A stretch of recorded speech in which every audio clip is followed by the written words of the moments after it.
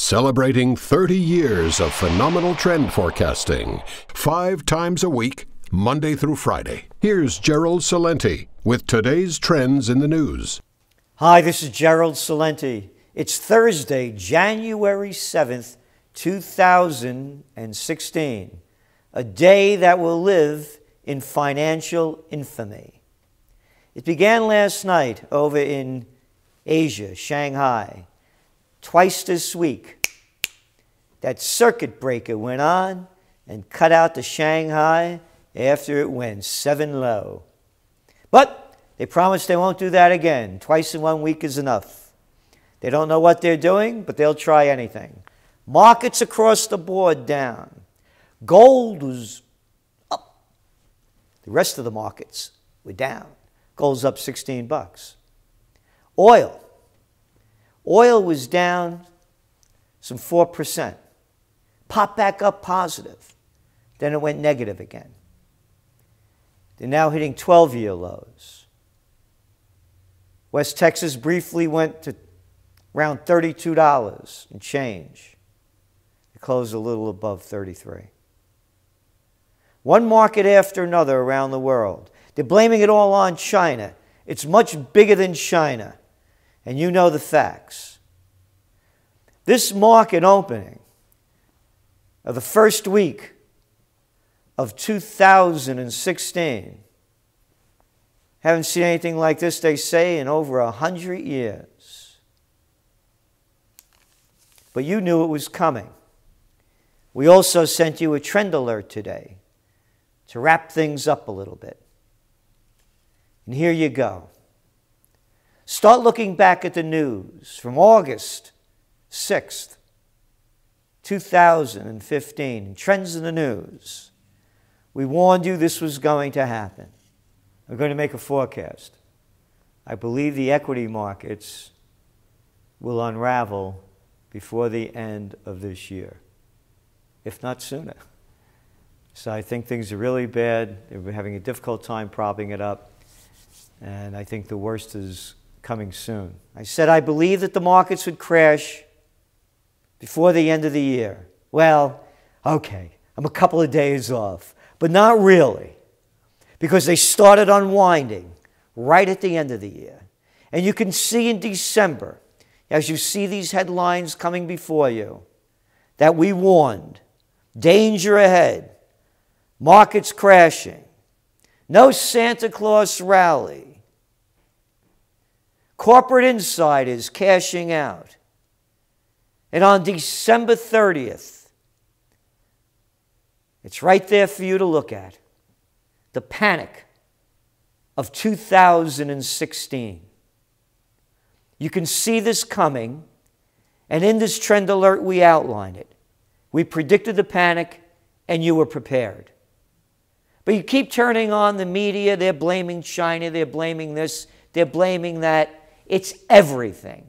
It's the Ponzi scheme that's finally unraveling. So please read your trend alert. Look at these headlines. Go back. You have access to all of them.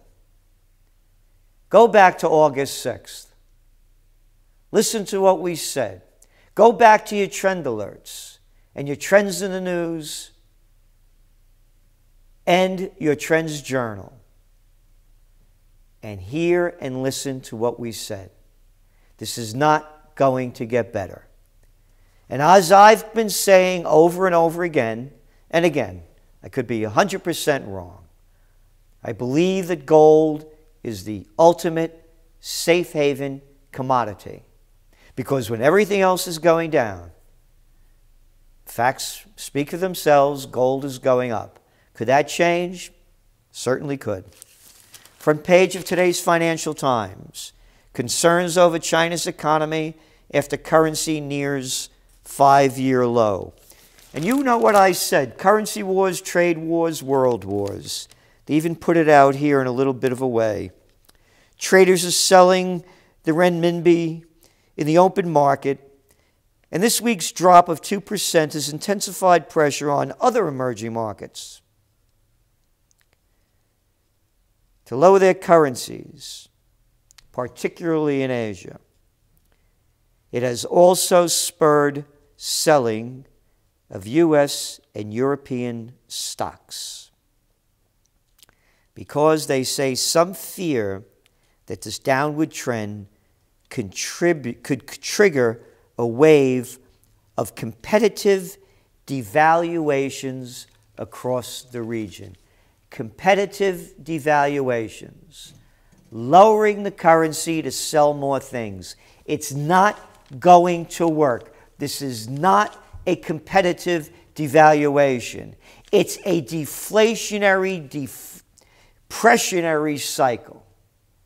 And there's no end in sight to it. Panic selling fears prompt extensions to stock sale ban. China is to extend the ban on stock sales by large shareholders until permanent rules to restrict such sales take effect as authorities seek to calm market fears over the lockup that was due to expire tomorrow. You know what that is. Bullshit detected. Take precautions. That's right. They were going to lift the ban tomorrow that would allow people that have large shares of certain stocks or are holding over 5% in one company to sell them after they put restrictions on back in July. They were supposed to expire tomorrow. It's totally rigged. Anything that you see going on that's going to boost these markets, to me, is phony as the President of the United States after all the promises that he makes and the lies that he delivers. Oh, matter of fact, here's one right here. Folks, ready for this one? Soft trade data, cloud outlook for U.S. The November trade gap narrowed 5% from October to 42.37 billion. The Commerce Department said exports fell 0.9%. Trade figures in the first 11 months of 2015 widened 5.5% compared with the same period a year earlier as exports fell 4.6%, but he promised to double exports, didn't he? That's right. And that's why we should join the Trans Pacific Partnership. And that's why, as the President of the United States, as a candidate running over there in the Rust Belt, I promised to look at NAFTA, folks, because was, we're losing our jobs. So I just make the connection here because you got whether it's authorities rigging the markets in Asia or over here there's not a lot of difference. It's all rigged. Markets stabilized on Tuesday, exactly what I had said, but only after the national team of state financial institutions stepped in to buy shares. Yeah, remember I said that? Go look at the chart, and you can see at the end of the day how they shot up. On to some other economic news to show you how bad this is and how wide it's going to spread. Big rig buyers slam on brakes. Trucking companies are buying fewer vehicles amid lackluster demand for hauling freight. That's right. Whether it's retail or raw material, it's not being hauled. And you're looking at the transportation index going down not only in trucks, but in trains. Heavy duty truck orders plunged nearly 37% in December from the same month last year. Meanwhile, dealers are stuck with over 57,000 unsold trucks.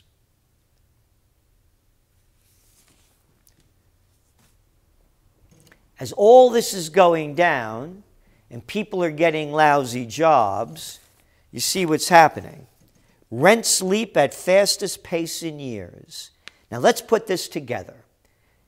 You get out of college, you got a lot of debt, you got a crummy job, You can't buy a house, so you have to rent.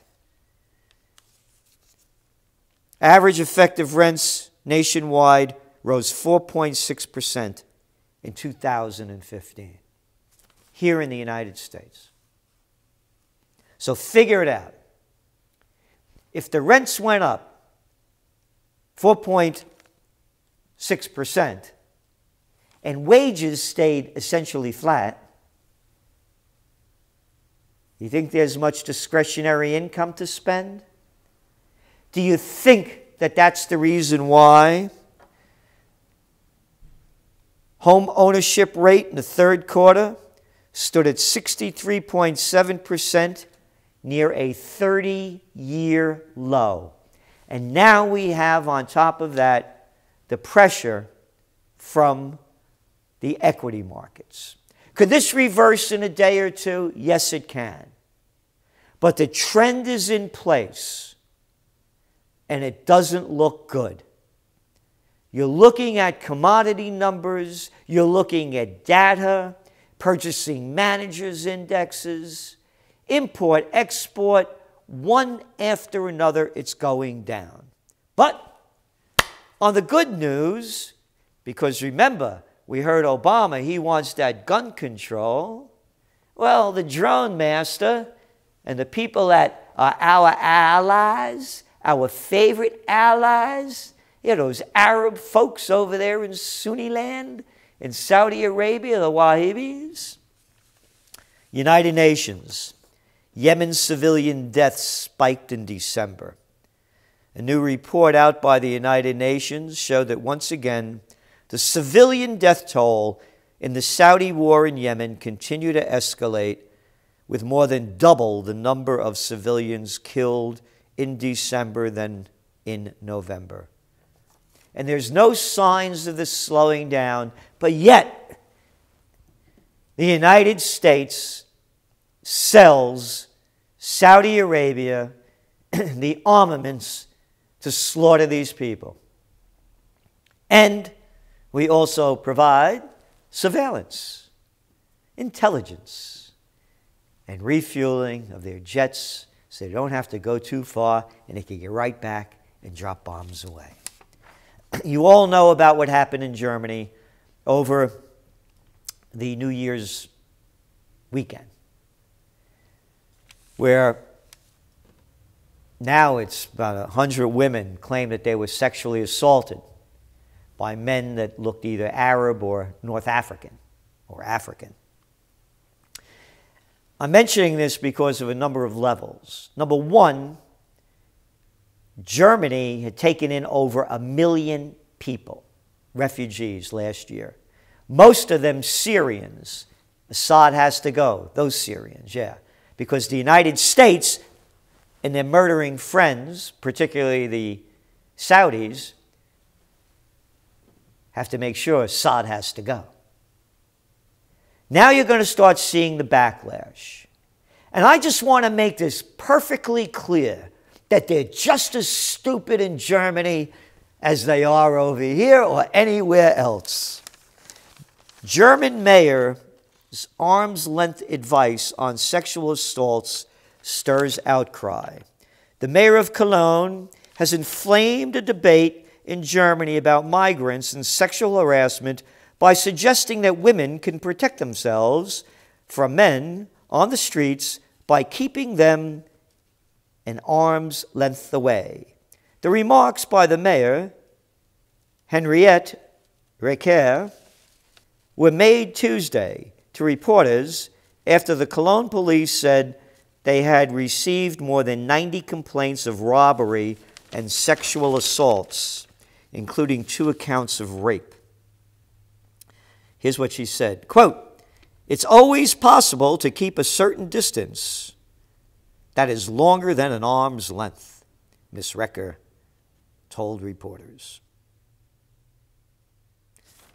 So, how's that for real stupidity? And it came from a woman.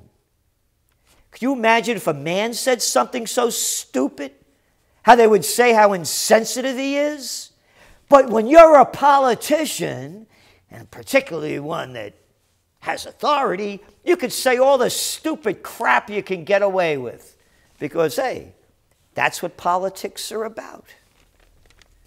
We're going to see a big backlash with this. You're going to start seeing it around Europe and around the world. More and more resistance to migrants and to refugees. But there is a solution. There are two of them. On the refugee issue, let's stop the wars. People want to stay home, they don't want to leave. But you don't want to stay home when your house is being bombed. And as for the economy, we spell it out. It's in your trends journals, it's in the Trends Monthly, it's in the top trends for 2016. That's right. Economic patriotism, self sustainability. Let's rebuild America. Let's make our own shirts, shoes, computers, cameras, anything that we want. Bring the jobs and the troops home. Those are the solutions.